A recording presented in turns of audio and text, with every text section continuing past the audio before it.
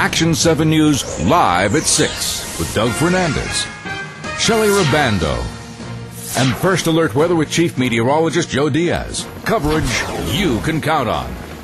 Over the next two months, we are taking you on a tour of New Mexico aboard Sky 7. We will cover every region. Tonight we begin in Ruidoso in southern New Mexico. It is a small village nestled in the Sacramento Mountains. Action 7 News anchor Royale Da flies high above it all with Mayor Lonnie Nunley.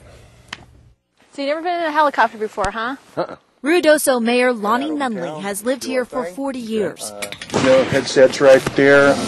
This was his first helicopter ride. Nunley was excited for the flight and the opportunity to show us Ruidoso from the air. Well, this is called the Fort Stanton Mesa out here. The mayor calls this area a living classroom. And New Mexico State University uh, uses this land to study uh, wildlife, to study crops, to study grass, to study tree growth, etc., etc. Ruidoso is a small village. About 7,600 people live here. It's speckled with huge, beautiful homes surrounded by trees. They're all large properties. They're 5 to 30 acres. And uh, as you can see, they're fairly large homes that are on them. Uh, they, uh, uh, it's a very nice development, very successful development. What goes well with multi million dollar vacation houses? Golf courses. The village has six. The Rainmaker is a fairly new course, and it's green in more ways than one. Which means that they're recycling all their water. Uh, they're putting in uh, plants that are not thirsty, uh, that are conducive to Mexico's uh, climate. There's so much beauty surrounding this area.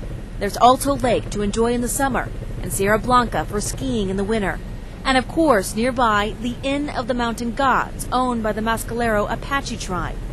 And there's the Spencer, a $22 million performing arts theater. Where they have some quality performances in there, and it's something that uh, that we're very proud of, and I think the state of New Mexico should be very proud of.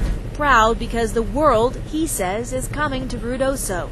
From Europe to Canada, Nunley says visitors are flying here to take in what this little village has to offer, and that's exciting.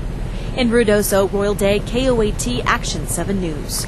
And tonight at 10:30, how Ruidoso is facing a big problem in its forests and how the village is finding solutions. And over the next two months, join Action 7 News anchor and New Mexico native Royale Da as she gives you a tour of our state from the air. Royale and city leaders from throughout New Mexico board Sky 7 to find out what makes your community so special and the challenges they offer.